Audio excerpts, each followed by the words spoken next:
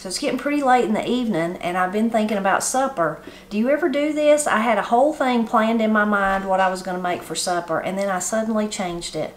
And even though it's late, I've just totally changed my mind and now I want something totally different. I'm not really prepared for it because one of the things I want is soup beans. I did not let them soak overnight it's the day's almost gone so I'm gonna cook them in the Instapot I usually don't do that I love to cook my soup beans in the crock pot all day sometimes even at night start them and then let them cook through the next day. I've got a video about those I will share with you but today I've decided I want some soup beans so I'm gonna do them in the Instapot what really changed my mind was I was out in the garden and I harvested some um, turnips and some turnip greens and then also some carrots. So I was thinking about, I really wish I could use these today, but I've done planned something else for supper.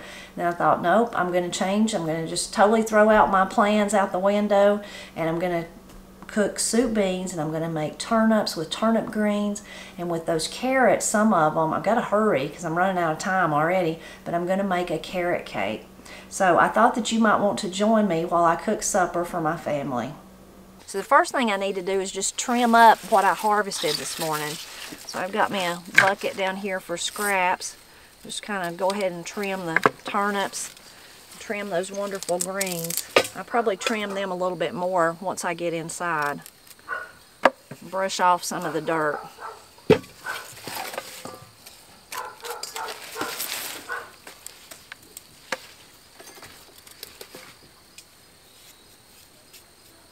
Whoops. Dropped that one.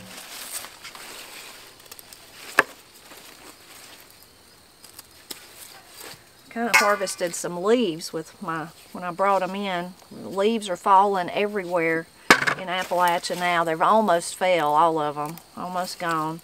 I put that turnip in the wrong bowl. I'm already getting mixed up.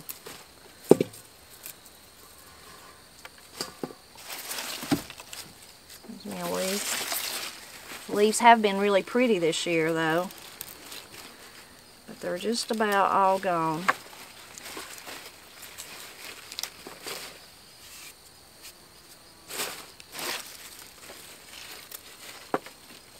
Another leaf. Now for my carrots. These are some huge carrots. What I did was this was the first time I ever grew carrots this year. The first time ever. Well, we've been eating them through the summer, but as I would pull some of them up, if there was some fronds, some carrots that didn't have any carrot on them, I would kind of peek down in the dirt. I just left them. So this is a carrot that's been growing all summer. I expect that it's probably going to be kind of strong, but we're still going to use it. Still going to use it. This one's not as long as that one some kind of the shorter ones.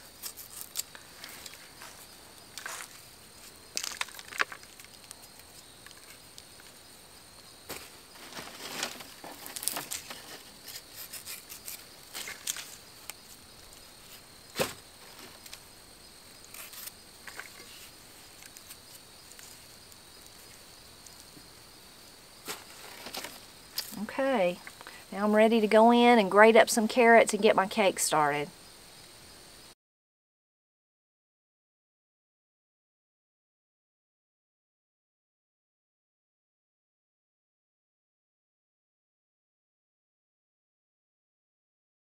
Okay, I've got the cake in the oven, so now I'm going to put the beans in the Instapot. And I've looked the beans and rinsed them in some water.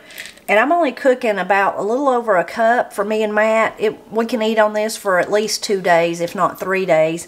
Uh, Katie's not a big, big soup bean fan, so she probably won't eat any of them. So this will be plenty for me and Matt.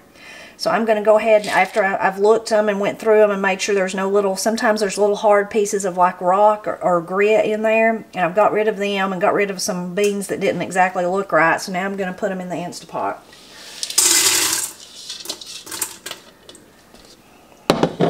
Now to season them, you can season beans with whatever, you don't have to season beans with anything if you don't want to. There's one bean that I've left.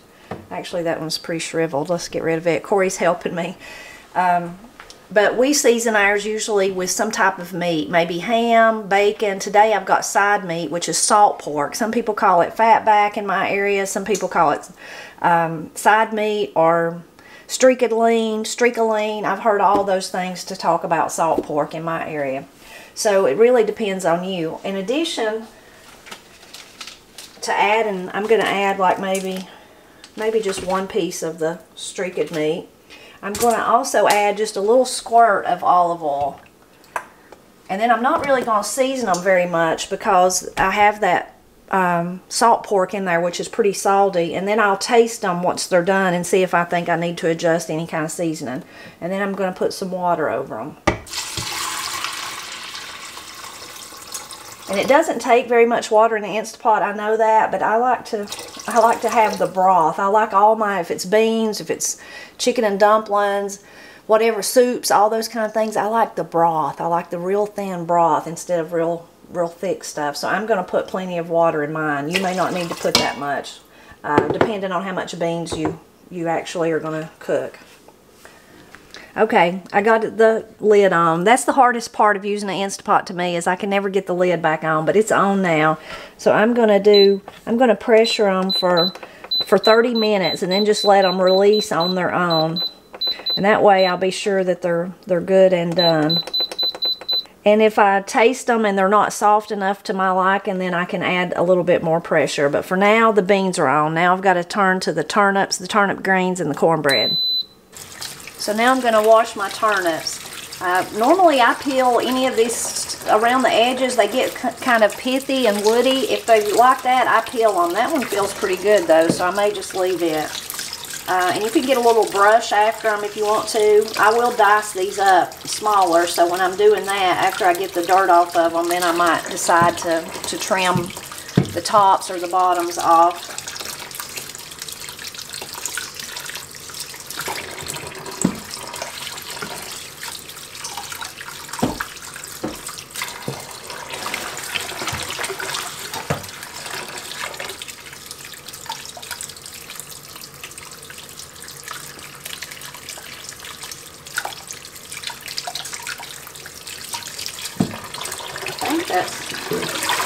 One more.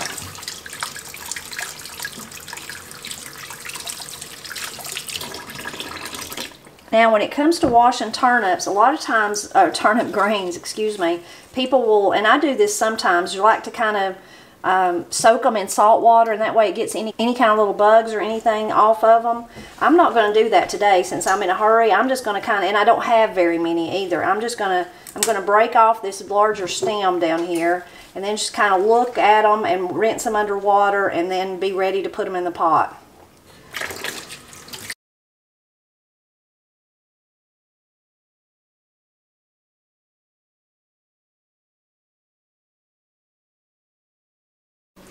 Okay, now I'm going to put some of the fat back. I'm just going to cut a little bit of it up to season our, our greens with.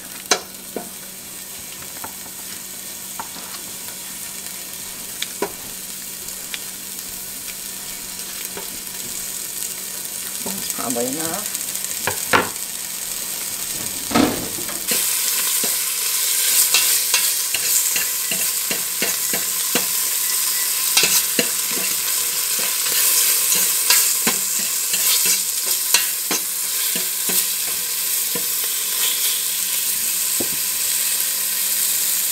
Now that I've got the pork kind of rendered out a little bit, not very much, but since I'm in a hurry, I'm going to go ahead and add some water.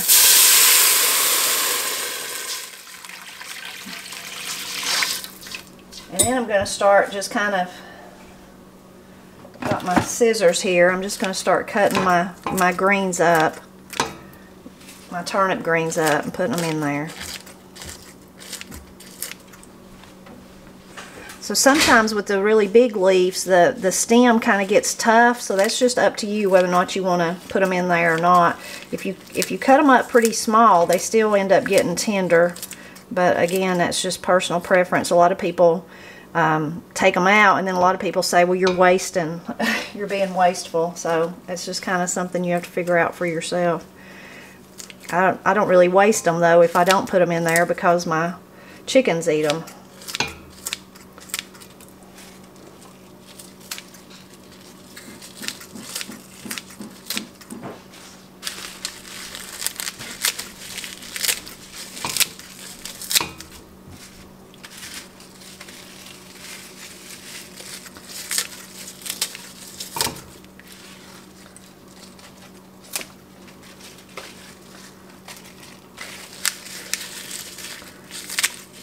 just kind of them up together. And that one's got a big old stem in it. And then kind of cut. And of course you could just do it with a knife or tear it, either one. Whatever, you, whatever works for you is what you should do.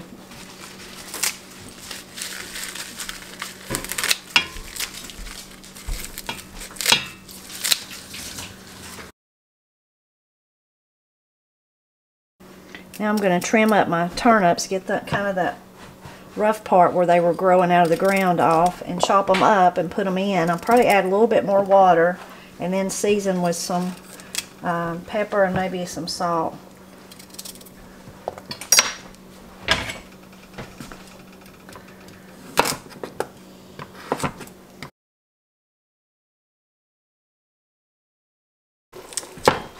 This one's got a bad place on the inside of it too. It's a good thing I decided to harvest these today. I gotta save me a, a little bite for myself. I love raw turnips. Okay, I'm gonna eat one piece. Mm, they're so good. I'll add me some more water. And some pepper.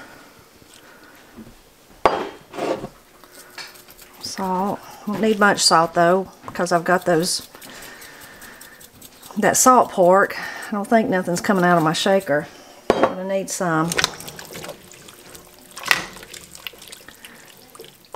I'm gonna usually if I had all day if I'd have thought of this early this morning or yesterday I would have started these this morning and kind of let them simmer all day but since I'm I'm in a hurry and trying to get it done I'm to turn them up pretty high and let them cook pretty hard.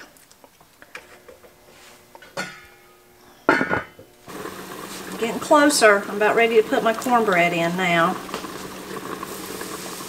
Got my pan hot from being in the oven while it was coming to heat. It was actually already kind of warm from the cake, but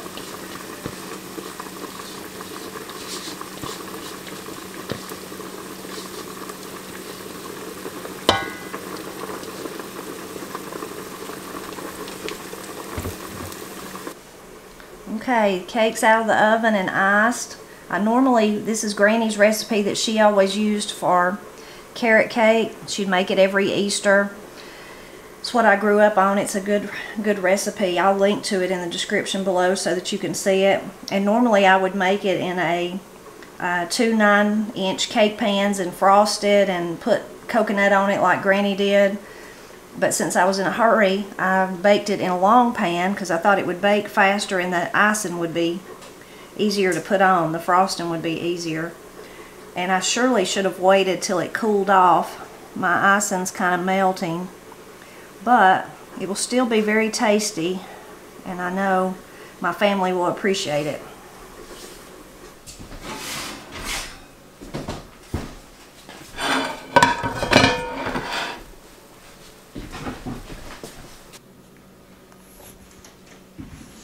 Okay, finally got it done. We did have to do the beans a little bit longer. 30 minutes wasn't quite long enough.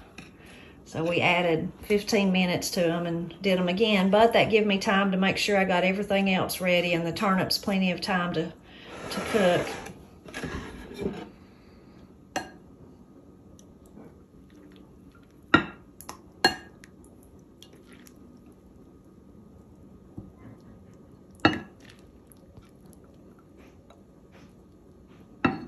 Gotta get that wonderful broth. You gotta get the juice. Pot liquor.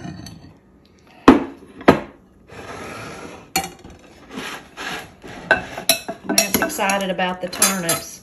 Gosh, yeah. And the greens. I love turnips and greens.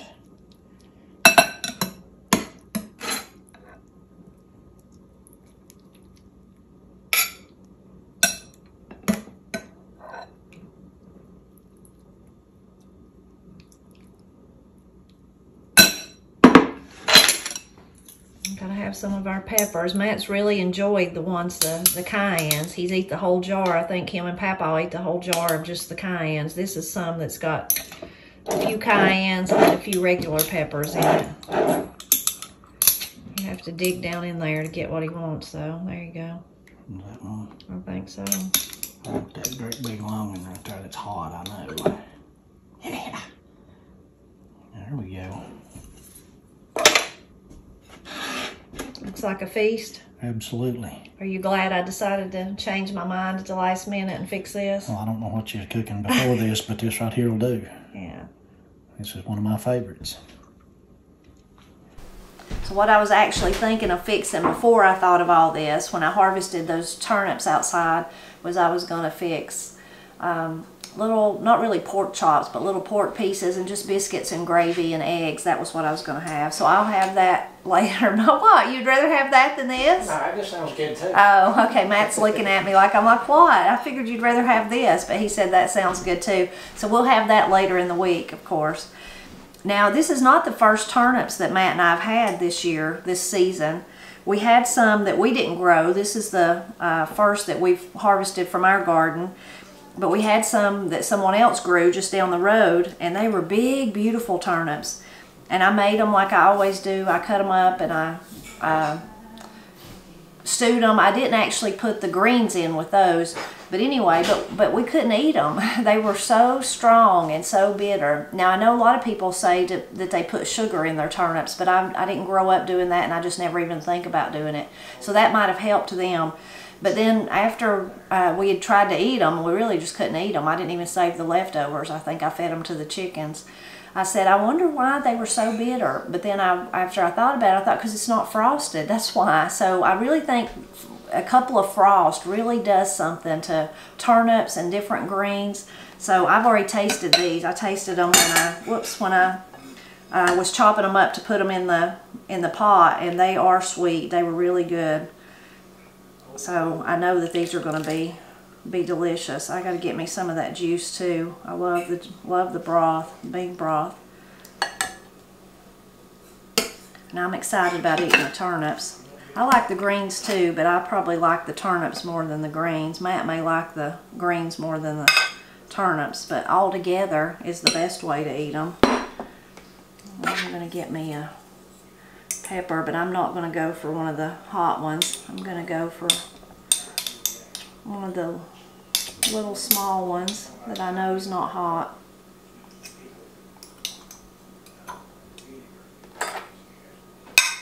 So I hope you enjoyed coming along with me for my spur of the moment supper. I'm glad I made this decision. I'm so excited about eating the turnips and I can eat soup beans and cornbread pretty much every day. I should have cut us a big onion, but I didn't. I didn't even think of that till right now because I was in such a hurry. But these peppers will go really good with it. Good meal? Exemplary meal, as usual. Are You ready for some cake? Yes, ma'am.